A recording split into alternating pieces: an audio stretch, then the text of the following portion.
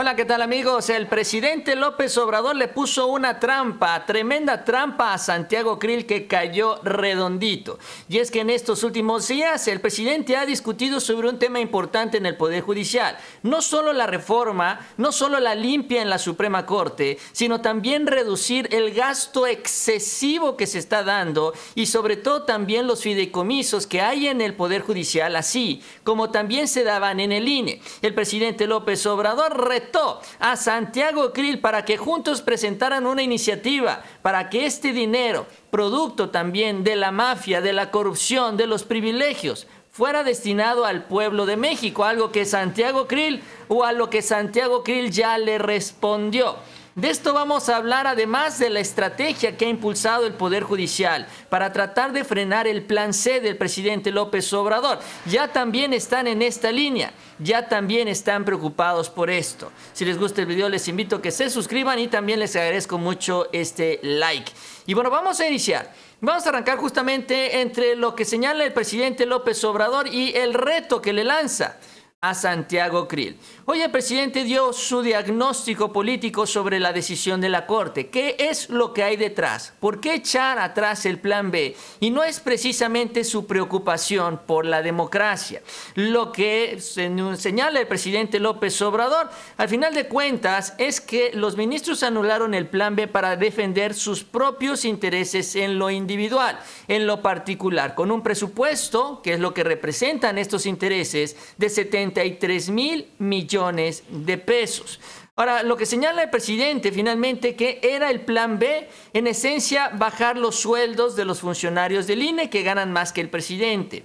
Pero si los ministros, dijo el presidente, no cancelaban el plan B, entonces ellos iban a ser los únicos que iban a ganar más que el presidente. Entonces, no querían quedarse solos, no querían que ellos fueran los únicos señalados de seguir violando la Constitución. Incluso el presidente en la conferencia mañanera se refirió a este artículo de la Constitución que impide que los funcionarios ganen más que el presidente y los ministros, pues sí, siguen ganando más que el presidente López Obrador. Ahora, además de esto, también el presidente se refirió a los fideicomisos. Los fideicomisos en el Poder Judicial. No solo es el beneficio que ellos tienen con estas remuneraciones, sino son todas las prestaciones que tienen a su disposición los ministros. Incluso las enumeró varias de ellas. El gobierno federal, la 4T tiene una lista ya muy bien definida de 40 beneficios, 40 privilegios en donde está obviamente su sueldo, la prima vacacional, el aguinaldo, todos cantidades exorbitantes, vehículos, seguros de gastos médicos, seguros para lentes, alimentos, comedores, gasolina, vigilancia, protección también prácticamente una especie de agencia de viajes personalizada que los trata como reyes, incluso ellos no hacen fila en el aeropuerto, etcétera, etcétera, etcétera. Los estimados es que los ministros tienen ganancias con todo esto de alrededor de o más de 600 mil pesos mensuales. Y esto no es suficiente. Además de esto, también están los fideicomisos, en donde lo que se ha revelado por parte incluso del propio gobierno federal tienen aproximadamente 20 mil millones de pesos, fideicomisos que han venido subiendo con el paso de los años, incluyendo el propio Arturo Saldívar, que también elevó estas cantidades. Ahí han venido guardando el excedente del presupuesto. Lo que no se gastan, lo que no utilizan, como sucedió en el INE, en lugar de regresarlo a la tesorería de la federación, se lo, se lo guardan y lo meten en estos fideicomisos. Y entonces el presidente ahora habla de desaparecer también los fideicomisos. Vamos a cambiar las cosas, vamos a quitarle estos privilegios, estos lujos al Poder Judicial, vamos a presentar la reforma. Ah, que no quieres la limpia, que no quieres tocar a los ministros. Bueno, vámonos por el dinero. Ese es un buen punto de partida y este es el reto que le lanza a Santiago Krill. Porque bueno, Krill no apoya obviamente las propuestas ideológicas, pero ¿cómo apoyar esto? ¿Cómo apoyar que los ministros de la Corte se lleven 600 mil pesos mensuales? Es una insólita cantidad de dinero. Este es el reto del presidente. Eh, propuesta, ¿no? A los legisladores del PAN, este, el que se dirige a mí, Krill, sí. A ver, Santiago, vamos a hacer este algo juntos. Vamos a presentar una iniciativa para que desaparezcan los fideicomisos del Poder Judicial y esos 20 mil millones de pesos se entreguen estudiantes de familias pobres, se les entreguen becas. A ver qué resuelve.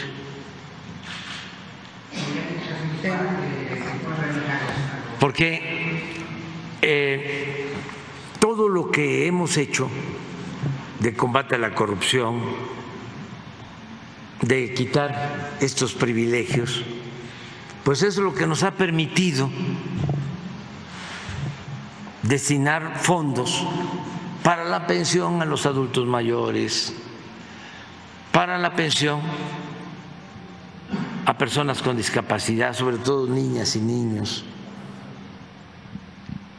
Es lo que nos permite entregar las becas a estudiantes de familias pobres. Porque no puede haber gobierno rico con pueblo pobre. Además, no solo es un asunto de justicia, es algo que tiene que ver con la moral. Bueno, ese es el eh, reto que hace el presidente López Obrador a Santiago Krill y también a los panistas. Bueno, si ustedes realmente están preocupados y ocupados por los ciudadanos, por el pueblo de México, pues vamos a desaparecer estos fideicomisos. De por sí los ministros ganan bastante bien, dinero no les va a faltar. Sin embargo, vino la respuesta. Santiago Krill no se aguantó, no se tranquilizó y al contrario, trata él de polemizar con este tema, asegurando que el presidente no está, dice él, interesado en el pueblo. Yo no sé por qué argumenta esto si la propuesta es ayudar a la gente. Pero bueno, a través de sus redes sociales, Santiago Krill sube este extracto y así es como le responde al presidente López Obrador. El presidente de la República hizo una alusión a que mejor deberíamos de hablarle al pueblo. Me aludió personalmente. Yo le digo al presidente de la República que mejor voltee él a ver al pueblo que voltee a ver el número de pobres que ha generado su gobierno, que voltee a ver el número de homicidios violentos que ya sobrepasan los 150 mil homicidios violentos durante su administración, 40 mil desaparecidos, 15 mil feminicidios. Eso es el pueblo, presidente, y el pueblo además no es su pueblo, somos todos parte del pueblo, quiéralo o no. Y bueno, se entiende, ¿no? Eh, como él dice, hay, vamos a decirlo así, dos pueblos, el pueblo que apoya a la 4T y el pueblo que apoya a la derecha, pero tampoco me vengan a decir que los ministros son pueblo. O sea, yo creo que si le preguntamos al pueblo de la derecha y les preguntamos, oye, ¿estás tú de acuerdo que ganen más de 600 mil pesos o quieres que este dinero se invierta en la economía y en el desarrollo del país? ¿Qué es lo que van a decir estos señores? Pues la gran mayoría, no creo que todos, pero sí la gran mayoría estaría diciendo, pues sí, ganan 600 mil, porque muy pocos en ese pueblo de la derecha, pues que son aspiracionistas, lo sabemos muy bien, ganan esas cantidades. No, no las ganan. Muy poquita gente en México gana 600 mil pesos al mes. Pero ahí está la respuesta, tratando de confundir. Y esta es la parte no pragmática del presidente en donde los panistas terminan encerrándose. Porque bueno, el asunto de la elección de los ministros, pues eso sí, ya Santiago Krill dijo es un disparate, pues no, no les conviene. Él tiene un despacho de abogados, al igual que Diego Fernández de Ceballos, al igual que Gómez Mont. Todos ellos tienen influencia y control en el Poder Judicial, tienen a sus jueces afines y pues lo que menos quieren es que se los ande cambiando el voto ciudadano. Ya perdieron la presidencia, no quieren perder el Poder Judicial de la federación. Sin embargo, bueno, también lo que viene sucediendo ahí en el Poder Judicial de la Federación es una estrategia en contra del Plan C. ya también la oposición está en lo suyo, pues impulsando a Santiago Krill a la presidencia, pero Norma Piña no está con los brazos cruzados y ya empezaron una estrategia para detener cualquier posibilidad de reforma constitucional y poder salvar el pellejo en el 2024. Y miren lo que están haciendo. Lo que se resulta, ah, están empezando a tomar decisiones en el Tribunal Electoral del Poder Judicial de la Federación. En estas últimas horas lo que hizo el tribunal de manera arbitraria y sin mayor explicaciones, aunque ellos lo tratan de justificar, es reabrir investigaciones. En la última decisión del Poder Judicial, en la última sesión, se reabrió la investigación en contra de las corcholatas por haber participado en este mitin en el Estado de México, allá en Toluca. ¿Se acuerdan cuando se da el banderazo de salida que finalmente se define? Ya vamos a iniciar, vamos a hablar de la elección en el Estado de México, esto en abril del 2022. Bueno, esto llegó a la sala especializada, a la sala regional, a la que se dedica también a atender estos temas electorales. En esta sala se habría tomado ya la decisión, se decidió de que como este fue un evento aislado, no hubo una estrategia para estar también visitando otras partes del Estado de México, no hubo una estrategia para hacer estos actos anticipados de precampaña, que es lo que acusó la oposición.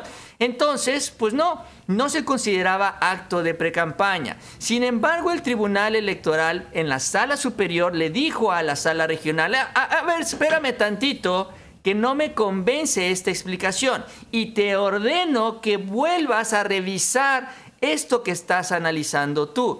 Y con esto también lo que hace el Tribunal Electoral es reabrir esta investigación o este caso y básicamente algo que estaba definido ahora está en la indefinición, porque las reglas del juego no están establecidas. Ya Morena lo que estaba haciendo ahora en el Estado de México y Coahuila era convocar a las corcholatas para que participaran en estos actos de campaña.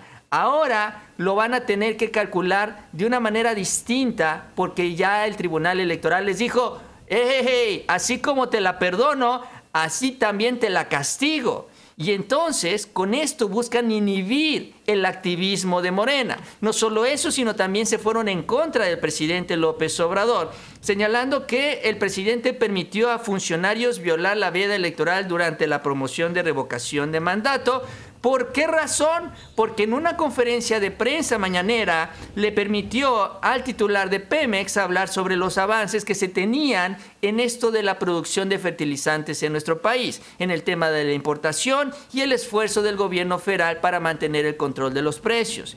Es increíble que esta información de utilidad nacional para sobre todo los productores, que fue difundida en la conferencia mañanera, diga el tribunal que esto es promoción gubernamental y que por eso estaría violando la veda en el proceso de revocación de mandato.